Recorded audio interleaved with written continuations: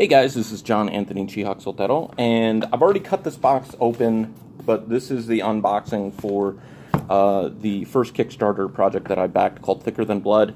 Um, I backed it last year around the time I was running my Bubba Patrol Issue 1 Kickstarter, and let's see what we got here. So I backed a tier that had um, like you could you can do multiple backings, but you have to like then explain what you're backing.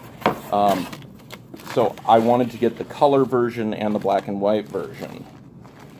And they sent out multiple updates letting us know, hey, you know, we're running behind. We've got, um, they had to go to a separate printer. Um, every They announced everybody would get a foil trading card.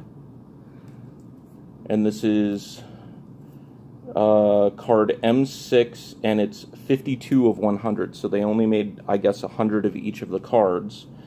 Then, and this is not something that I backed, um, but I think they threw it in, you know, because it took quite a bit longer to make sure that everybody got stuff. This is a wax pack of eight cards from the set produced from the comic itself. Now, the comic Thicker Than Blood was produced in the mid 2000s, late 2000s, before 2010, I mean. And they. Um, uh, so this was a collection of it. Um, artwork was done by Mike Ploog, who, if you know about um, like Man Thing, um, Mike Ploog is a great horror artist. So that's my wax pack, sorry. It's got eight cards in it. Then there is the Mike Ploog sketchbook.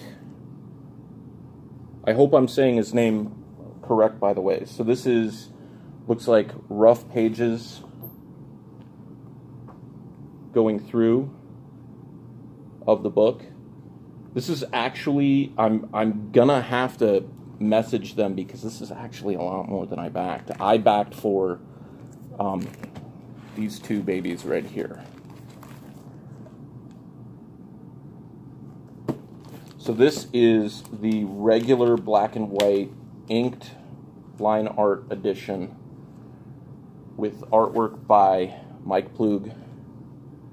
They had another edition that Thicker Than Blood was done in this like slime vibrant neon green but you had to get a set for that, and it was like there was only like a hundred of them or something like that.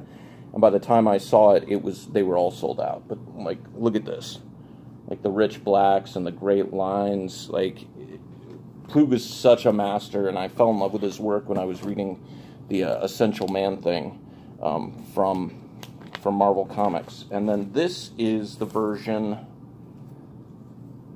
that Simon Bisley uh, painted over Mike Ploog's inks. So you get like these really great painted pages over these this amazing line work. And it's just it like I mean look at this specifically, this page specifically. If I can flip this around. Get the glare out of there.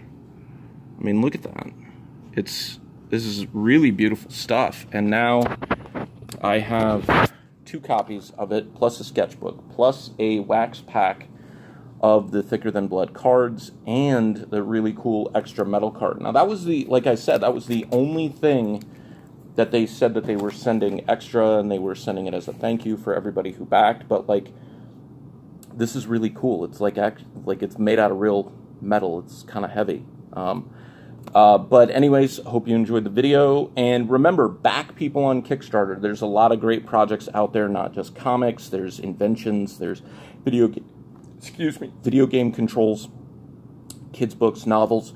Um, it's, it's a great avenue. Any crowdfunding platform, I should say, not just Kickstarter, because um, independent creators utilize uh, crowdfunding platforms because uh, like myself, we don't have access to, you know, we're not with Image, we're not with Marvel DC. They're not just going to publish anything that we can think of. But if we can successfully um, get our projects backed and and publish them um, through crowdfunding and generated interest, then then that's phenomenal, and it allows our work to be seen by people who are going to love it or know people who are going to love it, so they're backing it for a friend as a gift.